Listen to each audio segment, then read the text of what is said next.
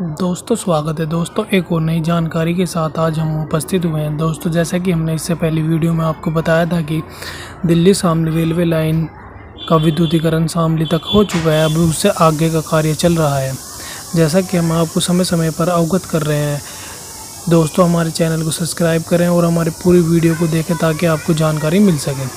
तो इसी कड़ी में एक और जानकारी के साथ हाजिर हुए हैं आज हम। लोनी रेलवे स्टेशन से शामली तक का रेलवे विद्युतीकरण का कार्य समाप्त हो चुका है और स्टेशन पर कलर सिग्नल लाइटिंग लगाई गई है।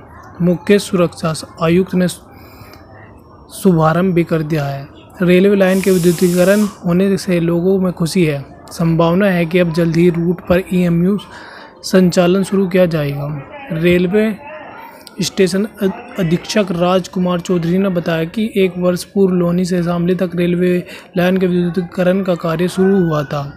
निर्माण कार्य के पूर्ण होने पर मुख्य सुरक्षा आयुक्त शैलेश कुमार पाठक ने लोनी स्टेशन पर विद्युतीकरण का शुभारंभ किया। साथ ही रूट के प्रत्येक रेलवे स्टेशन पर कलर सिग्नल लाइट लगवाई गई है। उन्होंने बताया कि इलेक्ट्रिक लाइन से यात्रा के दौरान लगने वाले समय में बचत होगी। वहीं रेलवे लाइन के विद्युतीकरण होने से क्षेत्र के लोगों में खुशी का माहौल है। लोगों का कहना है कि रेलवे लाइन के विद्युतीकरण से रेल के संचालन की गति बढ़ जाएगी। जल्द ही ईएमयू का संचालन शुरू होगा।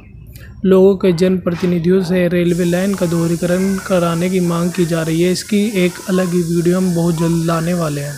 दोस्तों, अगर वीडियो अच्छी लगे तो लाइक करें और चैनल को सब्सक्राइब करें ताकि आने वाली वीडियो की नोटिफिकेशन आपको मिल सके।